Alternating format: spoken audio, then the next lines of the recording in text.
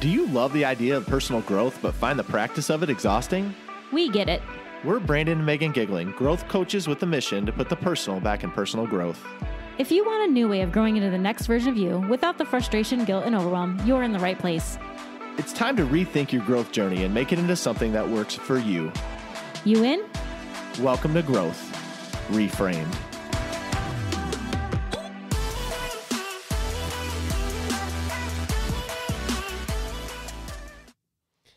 Hey y'all, welcome back to another episode of Growth Reframed. We are so happy you're here. How are you doing today, Maggie? I'm good. How are you? I'm doing so well. I'm actually super full because we just had a great meal. Uh, but I'm so excited to be here. I'm gonna ruffle some feathers right off the bat, uh, and so this is exciting, and uh, and I like this. But today we're gonna talk all about why you, if you are, I should preface, if you are coddling your kids, and three really great reasons why you shouldn't. Um, and I know, I know, y'all. Before I even start, that as a parent, look, you know, I uh, we have an almost ten year old and we have a six year old, and I get it. Like, I want to make their life easier. I want to do things to help them. And certainly, right off the top, what I'm not saying is that you can't help them, that you can't support them, that you can't be there for them, that you can't shelter them a little bit because this world's freaking nuts. So, like, you definitely need to be there and be able to shelter them from some of the things. We always joke that our kids live in a happy little bubble. And sometimes, yeah, I want to keep them in their little happy little net and bubble because they're still super young. We also understand that some of you listening out there might have older kids, but I think these principles can be worked in no matter what because one of the things we've noticed is just people are people are really just coddling their dang kids. they definitely are. And so I think that it's important here to distinguish that like we're really not talking about sheltering your kids from things they shouldn't see as, you know, dependent on their age. We're really not talking about that. We're talking about the fact that some people don't let their kids not suffer. Suffer is a bad word, Brand, but they don't let their kids experience or they don't let their kids uh, have meaningful, hard things that they go through to help them become the person they will eventually be because they're so worried about like their immediate needs and their immediate motions and immediate reactions and I think that's where we're a little bit different from a lot of parents is we're like, okay, yeah, it might really, really suck for them in the moment, but this is actually good for them. And so we're not going to constantly retract what we're saying and undo and move things around for the comfort of our children. We're going to instead push them into things that are a little bit uncomfortable that they may not want to do. Um, those kind of things, not so much that, you know, sheltering's bad because sheltering's great. We shelter the absolute mess out of our kids. I mean, we do. But coddling is a whole other story. Right. And and I know why people do it. Um, well, let me back up here. We live in a world of instant gratification where we want everything right now. And then we wonder like why our kids are that way, but we do it that way too. And so let me say that I know how it happens. Yeah. It happens because your kid, especially the younger they are, they want something, they're freaking out, something happens, and you immediately want to fix that to stop them, can I be honest, from being really annoying and irritating. Or just to be like, man, I don't want them to be hurt, so let's fix this. Like, oh, are you okay? And we overreact and we we over uh over insert ourselves and over helicopter on the kids at any given time. And what you're touching on, Meg, is it's not about the sheltering, it's about the building resilience. We talk a lot about on here as adults about building resilience and how you have to build up that muscle. But in order for that to happen, stuff has to happen to you. You have to allow it to happen. And Meg, I know Meg's gonna laugh when I say this because my favorite thing to say is when you're doing that to your kids and you're saying, well, okay, honey, you don't want to do that. Okay, well, you don't have to do that because you don't want to. Even though you committed to it, and even though, you know, we said we were going to do it and you gave your word, that, that's fine. We don't need to do that. What I always say to Meg is, okay, but what's going to happen to that kid when they get out into the real world and they have a teacher or a boss who's like, hey, you have to do this. And you're like, no, you know, I don't really want to. Well, guess what? You're not going to have a job anymore. And so, like, what are you setting them up for in the future? And I think it comes, and I want to say this very clearly with the best of intentions why we're doing it, why we're coddling, why we're trying to fix it for them, but you're actually a crutch for them. And if they're younger, it's kind of acceptable, but as they get older, it can really deter what they're trying to do, y'all. Like, uh, one more thing that I have to say. There is a new trend that I saw that I was like, I was floored when I saw this. I, I couldn't even believe this was real. So I did, did a little bit more research. It's real.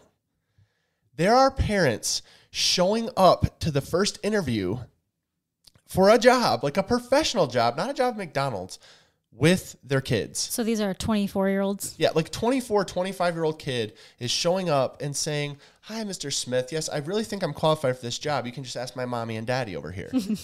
and I'm a, I, I run a business. And let me just tell you, I'd say, next. Like I, I'm done. Like that is, that is, it goes beyond. So I think the, the sooner that you can realize it, the better, because you're ultimately doing it not to deter your kids, not to have it be a bad thing, to make it be a really positive thing because you're building that resilience muscle so they can go out and conquer the world. Yeah, it's it's so crazy because as I think about like generationally, I'm thinking like I'm not coddled. They no, like our grandparents did not coddle our parents, period. Like I just know that for a fact. Like it was just a different time. Like you did not just get to do what you thought and your parents were just totally cool with it. Like my mom and my dad and I know your parents be were not anywhere near coddled. But then like a couple generations go by and like I feel like you know, I was definitely more coddled than my parents would have been. And now I feel like we coddle our kids, even though we actively fight against it, still naturally. We do a little bit more coddling probably than our parents did for us. And I think it's just like this weird trend that's kind of going like as as generations pass by, we're getting a little more comfortable and just making everything okay for our kids all the time.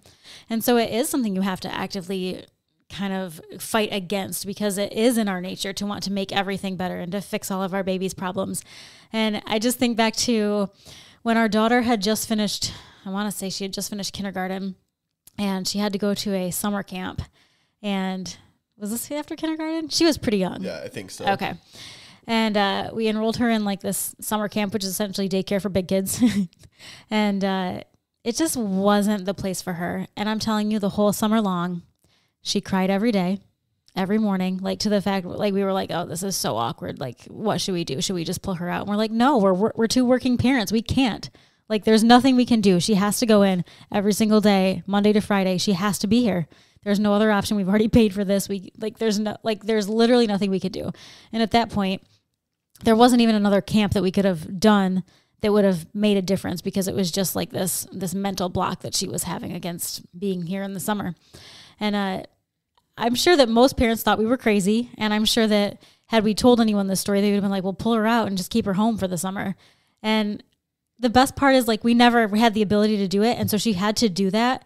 And by doing that, she actually became stronger. She actually became better at going into these situations that she had to eventually start going into more and more, which was being in a summer camp situation, being in a spring break, bringing a track out, whatever you're going to call it. There are all these moments in her in her school career that are going to keep coming up where her friends might not be involved. And she's not going to have her best friend sitting on the side with her, and she's going to have to do it anyway, and she's going to have to get uncomfortable. And it's actually served her really well because over the past few years, she's been an expert at going to school by herself if her brother's sick, trying a new uh, activity by herself when she doesn't know if any of her friends are going to sign up or not.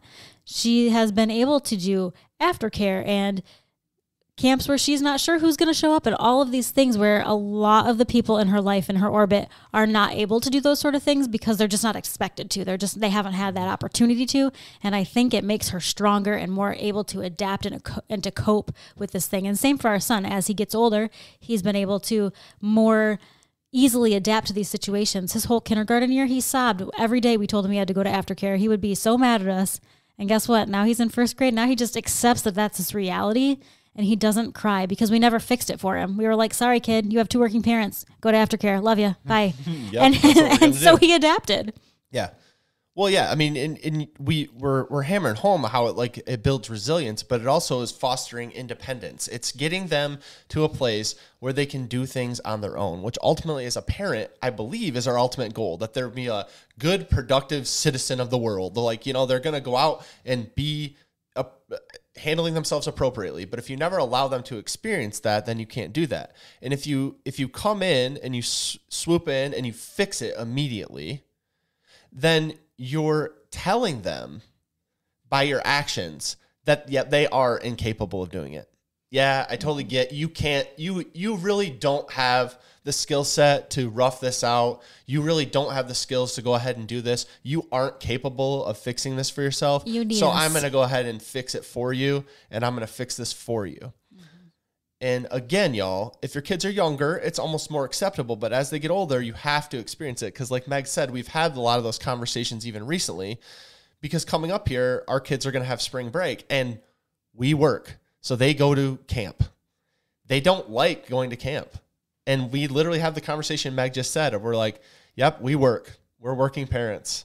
And we like we don't feel bad about that. Like that's something that we hope we instill in them. Like that it is important to work. That is important to do those things. It's not that we don't do fun things or try to do things, you know, throughout that process, but like you were saying, Meg, the fostering that independence and getting that skill to be able to take on new things, it, even in the face of not knowing, is huge.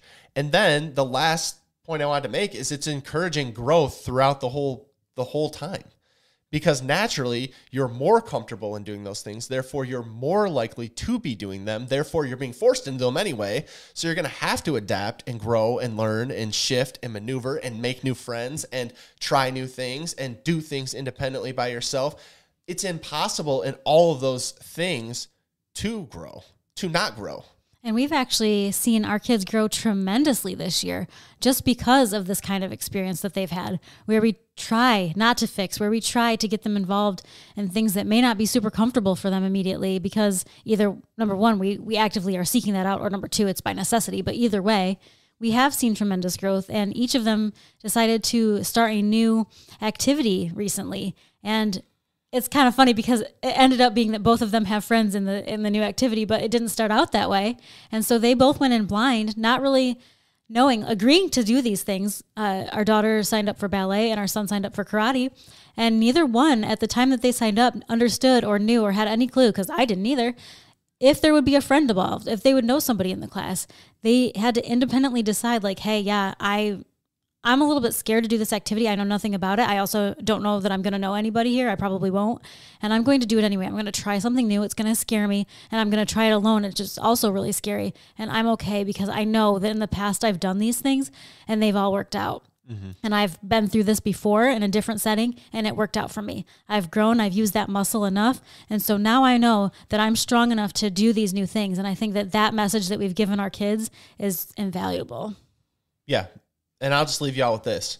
It's easier to do it in the short term. It's easier to coddle. It's easier to fix. It's easier to just make it right for them. So you don't have to hear what they're doing and, and you don't have to hear their problems and you, you can fix it for them. Yeah, that makes it easier for you right now. But coddling makes it much more difficult down the road. You're actually harming them and you're harming yourself because you're keeping yourself connected. And as they mature and get older, like you want them to build that muscle and get mature and be able to do those things. So don't take the easy out now. I get it'll be difficult. I get they might fight it. I get they might cry. I get they might be upset. But ultimately, you're doing what's in their best interest, which I believe is your number one job as a parent. We love y'all.